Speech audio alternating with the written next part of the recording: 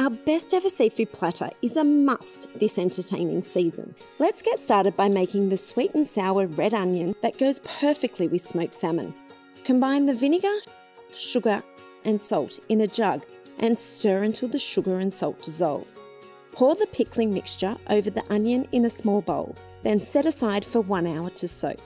When it's ready, drain the onion and place in a small serving bowl.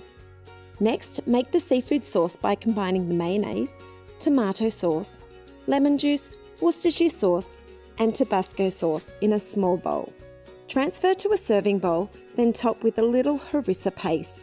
Grab a round bladed knife to gently swirl the harissa paste through the mayonnaise mixture. Then season with pepper. To make the tangy ponzu dressing for the oysters, combine the soy sauce, lemon juice, sugar, and oil in a serving bowl.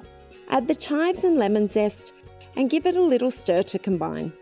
Now it's time to prep the seafood. For the prawns, twist off the head, remove the legs and outer shell, leaving the tail intact. Use a small sharp knife to remove the digestive tract. For the lobster, grab a sharp knife and cut down the centre of the lobster shell to cut it in half. If the shell is really tough, you can use kitchen scissors instead of a knife. Rinse the lobster under cold water to clean, then pat dry with paper towel. Build your platter by arranging some ice on a large serving plate, which will keep the seafood cool and fresh.